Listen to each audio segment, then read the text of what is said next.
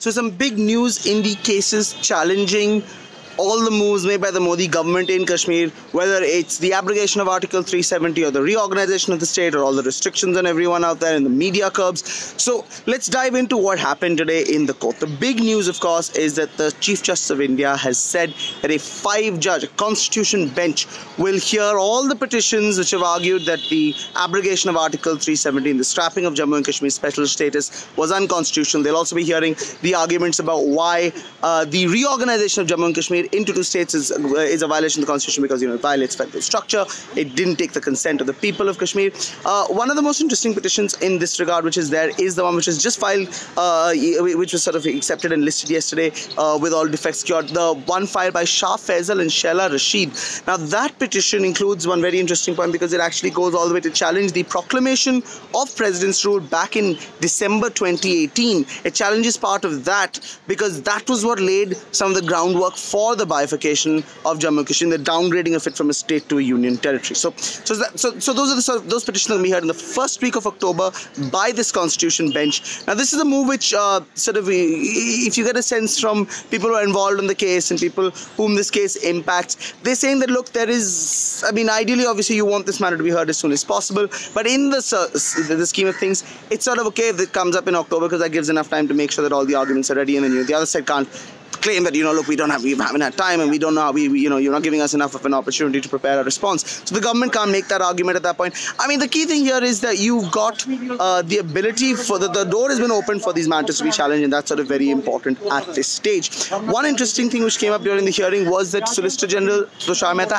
and Attorney General K.K. Venugopal both opposed the issue of notice by the Supreme Court in these matters. Now, what does notice mean? Notice is basically a situation where the uh, Supreme Court says, look, you know what, we're going to hear this case, so the other side needs to give a response. It doesn't. It's not a, a, a decision on merits or anything like that sort, but it's just sort of a reflection that look, you know, this isn't an utterly ridiculous case. Something may need to be done here. Now, the government strongly, vehemently opposes. Said, oh, you know, there are cross-border repercussions, and people are taking this to the UN, and Pakistan, you know, will, will, will look to exploit this. But the judges said, and, and rightly so, the judges said that that's not our concern here. This is of these petitions have uh, have to be heard, and if they're going to be heard, you're going to have to, uh, you know, you're going to have to give give your response. So they they refused to accept these submissions. Uh, there was, I mean, people in the court, everyone was trying to argue against it. In any case, the judges weren't impressed. Now, uh, apart from the obviously these big ticket challenges against Article 370 and the reorganization, there are other, uh, several other petitions and other several other things going on in the courts which are very very important. So the first set are the habeas corpus petitions filed, uh, sort of uh, talking about either detentions which are being challenged as illegal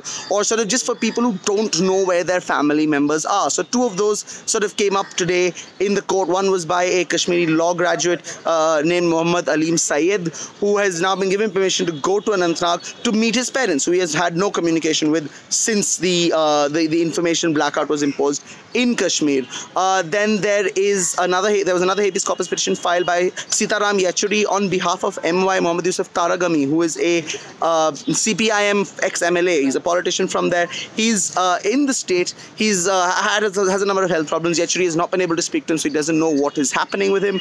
Uh, he says that they, they, they, they want to know what's going on. So the court, the court has also now allowed Yechury to go to visit Kashmir. As you remember, Yechury had been stopped from entering Kashmir uh, earlier. He's been allowed now, though the court kind of said, look, you know, make sure you're only you're not doing any political activities because that would potentially violate the order. So that's something which will also be worth tracking to see where that goes because uh, he's supposed to go and meet him and then come back and tell the court what's going on and you know give a report on whether or not he's been actually detained or anything. So uh, interesting things there. Uh, the other, the third category of petitions are the ones challenging all the restrictions, whether it's a movement or the information blockade or whatever. So, you know, the big ones here are Anuradha Bhasin's and Tehseen Poonawalla's. Now, those petitions have been uh, have also notices been issued there as well. Uh, they are not being heard urgently, even though there have been requests for that to happen. They will be heard after uh, after seven days. Within seven days, the government has to give their responses to these petitions on the media restrictions and why they're necessary, what's the need to continue them, and so on, and whether that that's going to keep happening.